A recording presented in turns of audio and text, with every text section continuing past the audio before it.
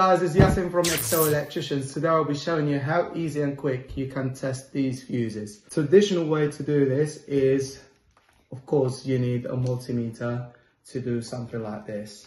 The fuse, the one is working. You test between the ends and you can go there and test that one. Now we proved that one doesn't work. Now I'm going to get the second tester just to prove it to see if that works or not.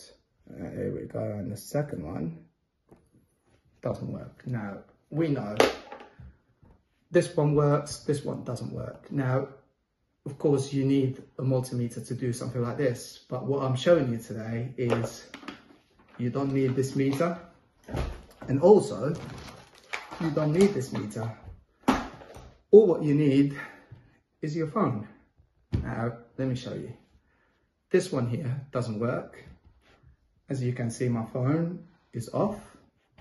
If I put that on it like that and tap at the top, nothing happens. Okay.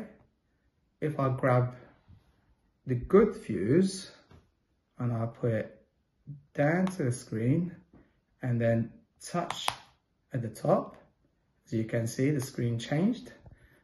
I'm going to turn it off again. And then tap. And as you can see the fuse is working. Now that's how you can test your fuse without using a multimeter only using your phone. Thanks guys for watching and make sure you subscribe to our channel like and share. Thank you